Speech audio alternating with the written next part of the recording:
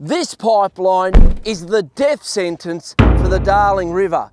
This pipeline that's being constructed 270 kilometres from Wentworth on the Murray north to Broken Hill is a $500 million farce. The pipeline is about ensuring that more water can be used in the northern parts of the basin and the northern Darling by cotton irrigators.